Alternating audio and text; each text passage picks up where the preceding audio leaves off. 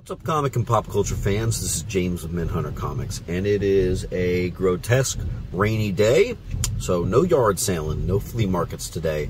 But it doesn't mean I can't go to a warehouse and search for dollar bin books. Let's check it out. All right, comic and pop culture fans, quite honestly, I'm glad I rerouted from yard sales and flea markets to do a little dollar bin shopping today because I did really, really well.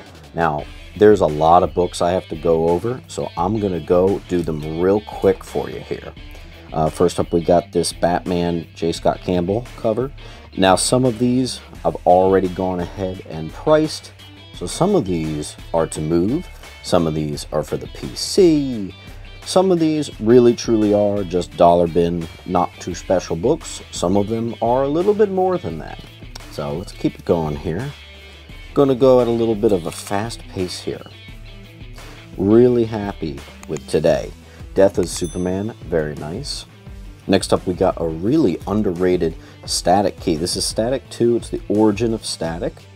Uh, I actually found two of those. Not bad, not bad. First appearance of Captain Carrot. That one's a PC book. I saw it. I put a price on it, but it occurred to me I can't sell that, so that one's staying with me. Yeah, here's one of the better ones found.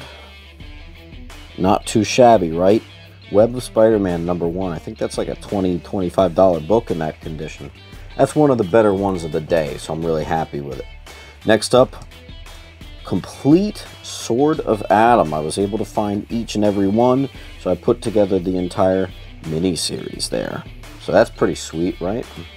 Did get a couple pretty crispy. I'll just show you one of them. I did get three of these of the Batman 497 Bane Breaking Batman's Back.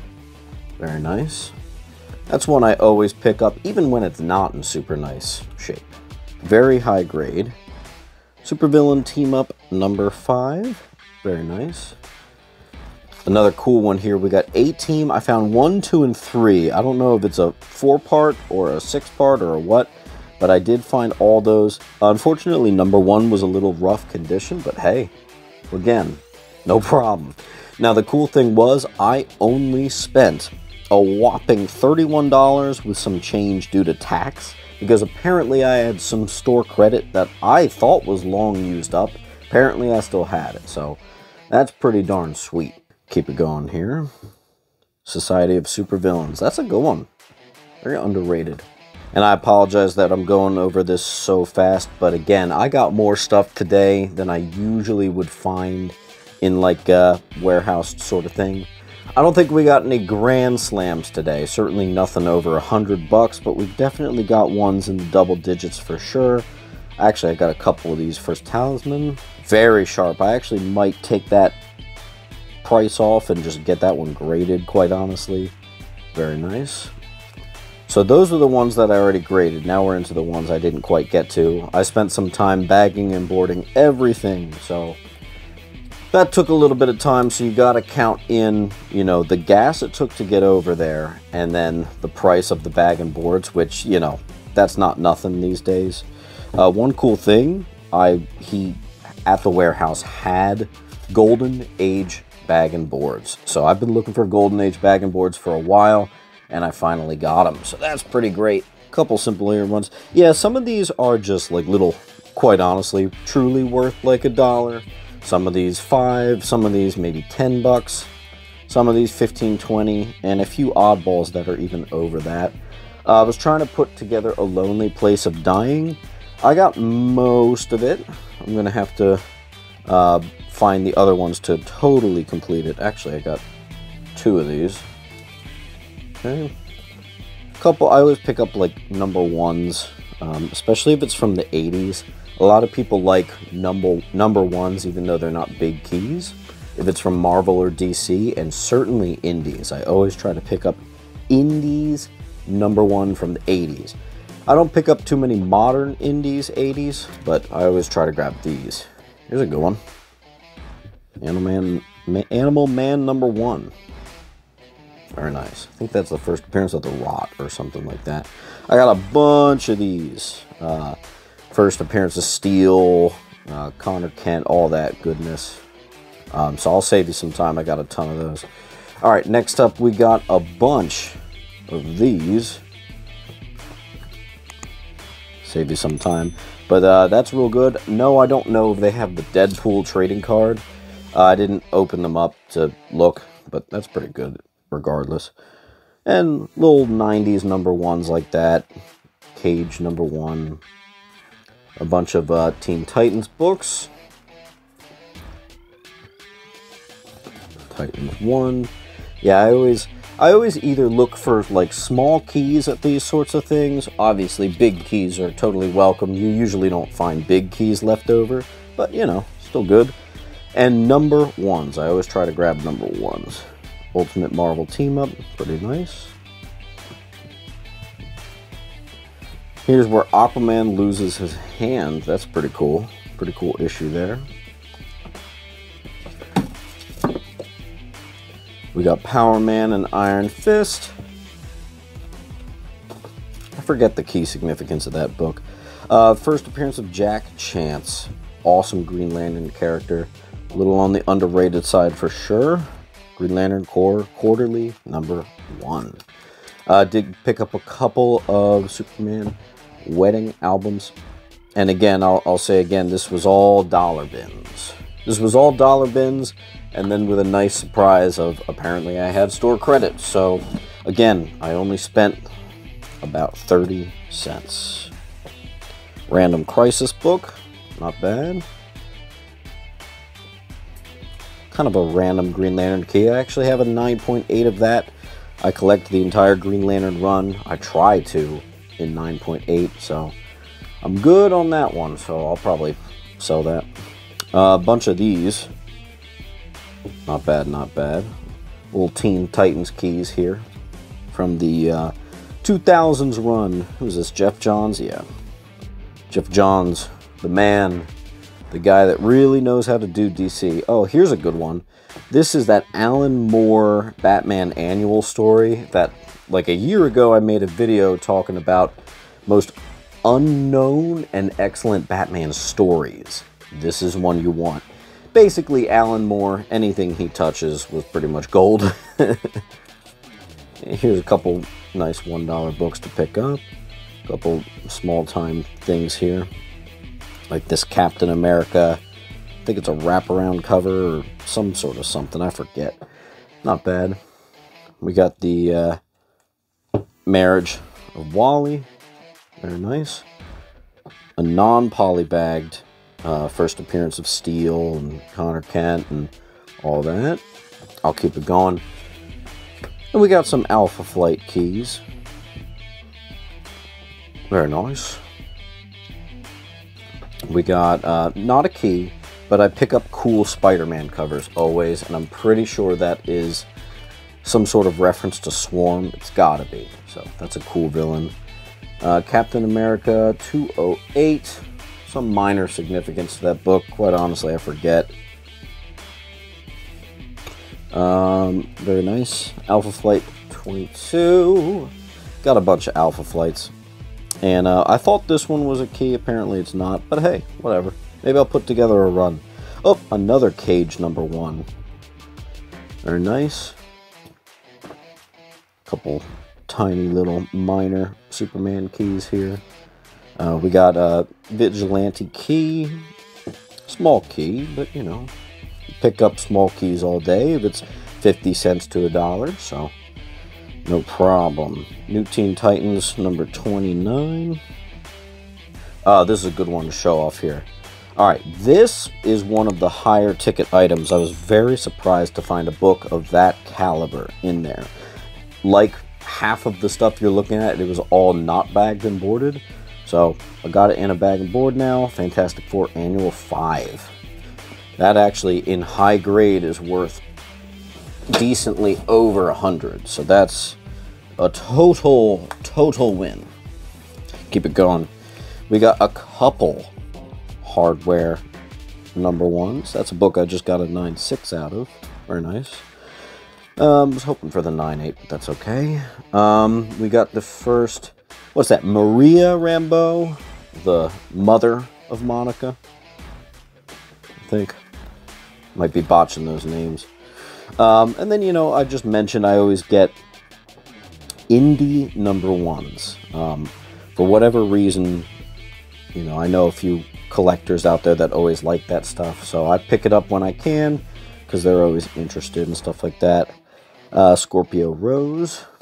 Oh, here, this is so random. Uh, you know what? I'll save that. And yeah, I apologize. There is no order to these books at all. Saber number one. Again, I always pick up the indie indie number ones. Here's Amazing Spider-Man 88 coverless. I got that one for free, so I like free. I like free a lot. Um, I almost passed on this. Good thing I looked online. I'm not so up to date on my Star Wars knowledge. Apparently, that's like a neat $10, $15 book right there. First appearance of a couple people, couple Star Wars folks. This thing's not the greatest condition, but it was a number one, so I said, let's do it. You know, I pick up 20 centers for number one. There's tape on the edge, so do not like seeing tape, but you know, whatever. Um, I always pick up this one. That always fetches like an easy five bucks. This one did have the trading card in it still, which is great. First appearance of Max there. Here was a good one. This is like a $20, $25 book. Uh, Grendel, number one. That's certainly on the underrated side, and it does have some value. That always usually tends to move real easy. A couple more Alpha Flights. Um, I forget the key significance of this book, but uh, I got two of them. Not bad. All the Alpha Flights were remarkably good condition. Maybe, maybe they'll get sent out. Who knows? Probably not, though. Lately, with all the cost of submitting, not to mention the fact that I'm just not that into submitting right now, um, so much of this stuff, I'm not. I'm just. I don't know. It it, it kind of has to at least fetch like a hundred bucks for it to be worth my while. I hate that that's the case, but it's kind of true. A couple random Captain Atom books. I'm kind of trying to put together a full run. I've really discovered lately that this run was a fantastic read. So, you know, that's a no-brainer for me. I'll pick that up all day. It's nice doing, you know, collecting for the PC, collecting keys to maybe flip to put into bigger books for my PC, collecting stuff to read. I really got a little bit of everything here. Stuff for the wall, all kinds of stuff. A um, couple crossovers here. Uh, remember when this book was like the biggest thing? All the different variant covers. This is the Shadowhawk variant. That's cool some minor Web of Spider-Man key. I couldn't tell you off the top of my head. I remember when I was looking at it, it, uh, yeah, it was just something. Can't quite remember. Amazing Spider-Man. This is actually, I collect this entire run.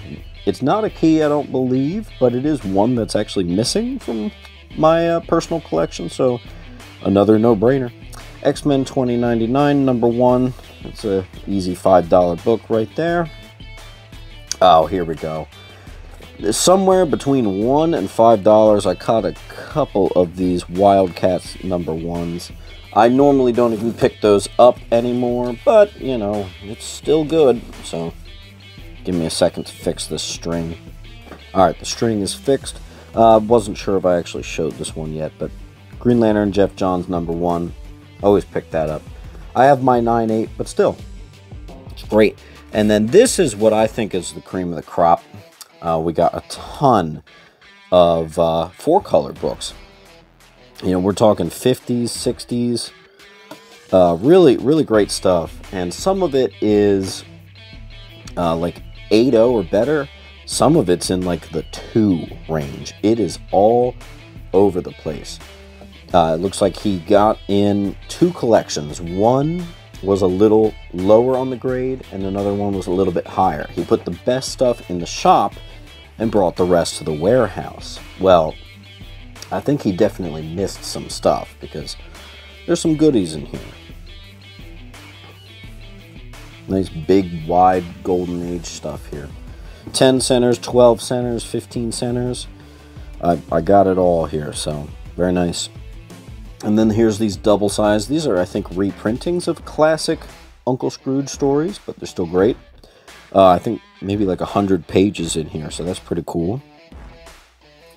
Yeah, there's a classic cover being homaged right there on that one.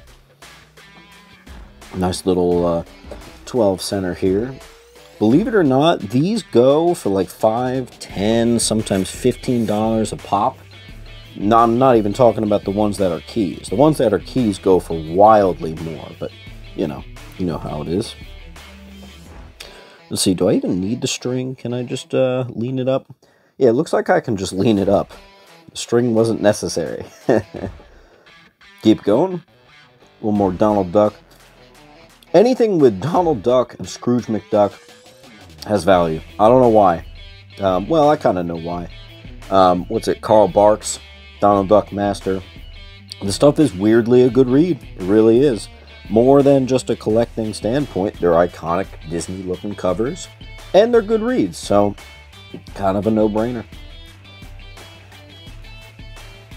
Very nice. This, yeah, see what I mean? This one's notably in not as nice shape. They're all over the place. I mean, some of them were good, some of them beat, you know? Very clearly from two different collections. Donald Duck. More Walt Disney comics. Here's another one from a different one from the lower that was a much worse condition and then one's in the middle. So, you know, good stuff. Fantastic for dollar bin diving right here. Really great. Really great. Couldn't be happier. Mm, very nice. Bambi. Yeah, people love these. I love these. I don't know why I'm saying people. I guess I'm a people. Okay. Uh, some more. Oh, this is a 12 center. Yeah, there's 10 centers, 12 centers, and 15 centers. The oversized of this era usually were 25 cents. Got a bunch of Turoks. That's cool. That's nice. Uh, we got Korak, son of Tarzan. Some of these are gorgeous. This is one of the nicer ones. Honestly, if I wanted, I could get some of those graded, but again, I'm kind of putting a pause on the old grading at the moment. Not as fun as it used to be. Tarzan. More Tarzan. There's rivets. Wow, Hardy Boys. 10 center. More 10 centers here. Indian Chief 10 center. Very nice. I'll show you the last batch of these and then the last few comics I got. A couple non-Disney ones. Like the Looney Tunes, Bugs Bunny stuff. Love that cover. Man, I don't think I could sell that. That's pretty sweet. Here's another sunset strip. Uh, did get a bunch of Beetle Baileys. I normally pass on that. However, if the condition's good, I'll grab it. Um, and the condition was, was definitely good, so I did it. Ended it off with Sea Hunt. Very happy with these. I'll show you the very end. I believe that is the first cameo of Archangel. Very nice. Legends of the Dark Knight 120. Very nice. Great cover, too. Check it out. Like I said, no particular grand slams, but some definite stuff that's worth about 20 bucks. Here's another one. First uh, appearance or full appearance of Bronze Tiger. That's a great one. Another beefy one right here. Very high grade. She-Hulk 43. Um, She-Hulk books, ironically, are going down right now despite the very popular show, which is surprising to me to get the first appearance of Tim Drake. I've got a little collection of those right now. I've been doing really good with that book. Third to last, I quite honestly forget the significance of that book. It might be an Ultron related key. I was very, very happy with that. That's a spicy one. That's a nice condition too. Here's one I'm going to get graded, so I don't even know why I put the price tag on there. But that is the second best book that I got there. Let's show you the best one in the bunch. Two-way tie for number one. Avengers 129 and then Peter Porker Spectacular Spider-Ham number one. This one is actually a potential 9-8 candidate. So I'm really excited about that one. That one I actually probably will submit. This one, I think I remember, I actually don't see it now. I think I caught a couple small, tiny issues. So it's not a 9-8 candidate, but it's, it's up there. Anyway, guys, not bad for $31 and I believe 59 cents with tax. I think overall, it's a good thing that the rain didn't turn me off. As always, keep on hunting.